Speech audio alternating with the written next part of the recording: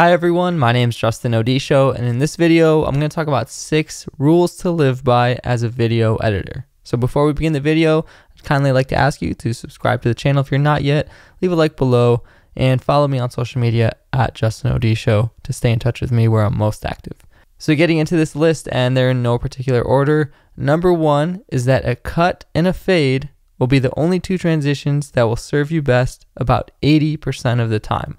They're the best transitions. A simple cut is probably the most versatile. If you only ever had to have one transition in your pocket, make it a cut. You can do so much with them. It's kind of like the default transition is just what happens when one clip moves into the next, you know?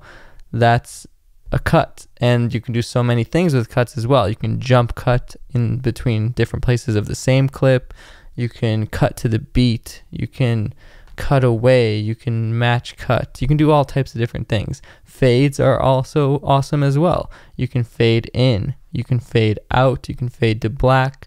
You can crossfade between two clips. That's kind of like the default transition in premiere and many other programs is the cross dissolve another classic. But basically, my point is that those two, if you just keep those two in your pocket, they will serve you well for 80% of your transition needs and cases. And then you always have the fun ones and the creative ones that you might want to throw in, perhaps if you're doing some sort of crazy music video or fun type of video where you need cool and flashy transitions. Moving on to number two, and this is a random specific practical one, is that if you suck at text, if text is not your strong point, then it's hard to go wrong with just some simple, solid, clean font in the middle. Don't get too fancy. Don't throw on some wingdings on there. Just maybe keep it simple with a solid, clean font like Futura. Maybe you can go all caps with it. A solid color like white usually works well. Keeping it in the center is also an easy placement to go with. And one thing I've noticed is either go kind of relatively small and balanced compared to the objects in the frame, or some people like to go really large and do it that way. Both are cool styles of titles, hard to mess up. You can keep it very simple. Don't try to introduce the text in some crazy animation and transition just cut it in, cut it out, maybe fade it in, fade it out, going back to point number one, and you can have a simple text title introduction to whatever your video is. Speaking of the possibility of maybe even no text altogether, number three is that less is more. Simplicity is key to keeping your video timeless. What can you take away from the clips? What is there that can be cut that's unnecessary?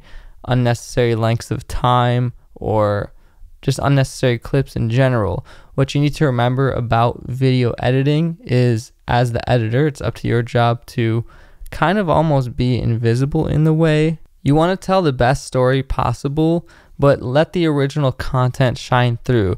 You ever notice in really old movies, if there's a cheesy special effect done, it instantly dates the movie and you think, oh, look at that 1980s effect. This movie was clearly shot in 1988 or whatever. That same thing can probably be applied to certain things today.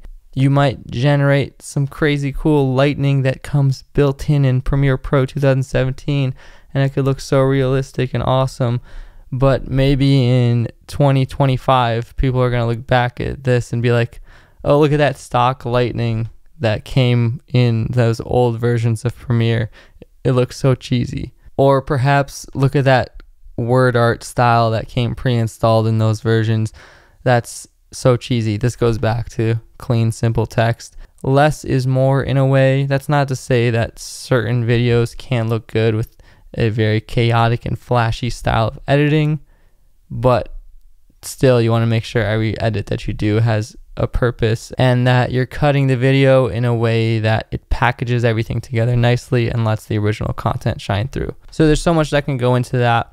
But moving on to number four, this kind of relates to editing and making sure you like the overall edit is if you're editing a long video and you're wondering, you know, what should stay in there, what should I take out, what is good. One thing to do, and this works with almost any medium of creating stuff if you're an artist of any kind, is take a step away, maybe sleep on it, come back to it the next day with fresh eyes, and then watch your whole project over from start to finish.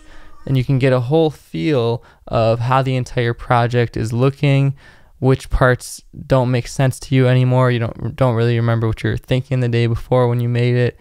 And the more times you watch over the draft from start to finish all the way through, you can start to get an idea of what feels cohesive in there.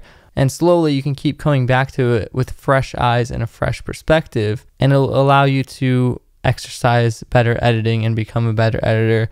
This is also where some people like to get the opinion of others and get, get a friend or another person whose opinion you trust because they can act as a set of fresh eyes because you've obviously been looking at this for so long, editing it for hours on end, and you probably are hearing the song the same way. You think that you're editing to the right moment in the beat, but maybe if you come back to it, you decide that you should be editing to a different piece of the audio.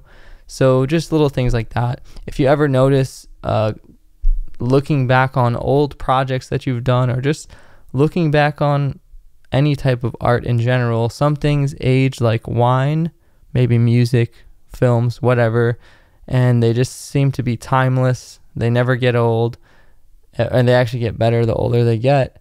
And some things are a little bit trendy in the moment, they sound good in the moment, and they just don't really sound good anymore five years later.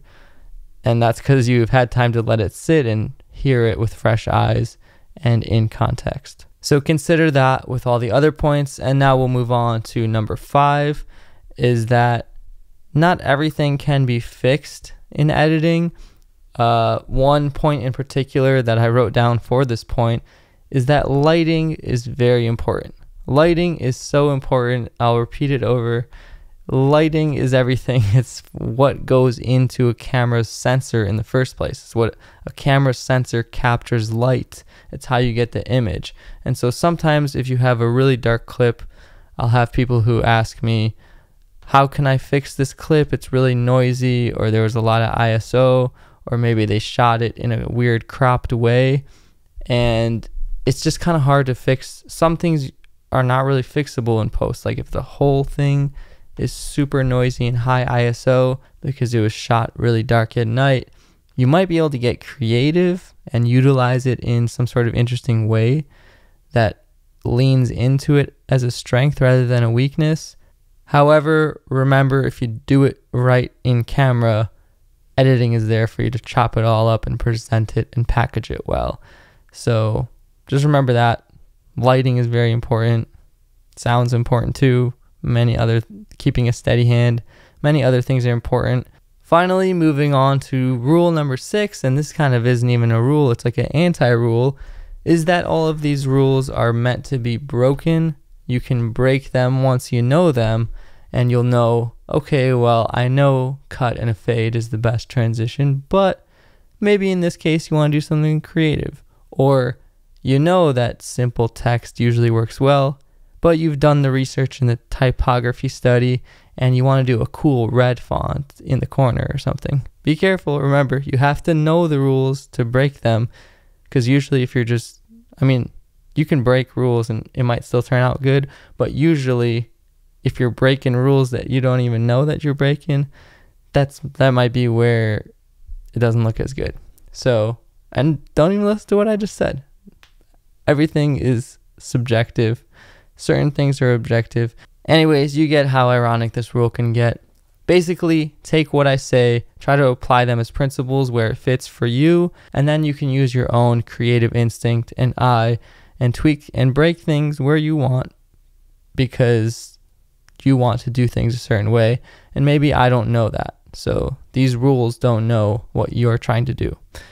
Overall, those are six video editing rules to live by. So if you guys have enjoyed this video, let me know what you thought in the comments below. Leave a like on it, subscribe to the channel if you're not yet, and I'd really appreciate if you follow me on social media on Instagram and Twitter at Justin Odisho. It's the best place to reach out to me, connect, stay in touch, and all that. Thank you so much for watching, and I'll see you in the next video.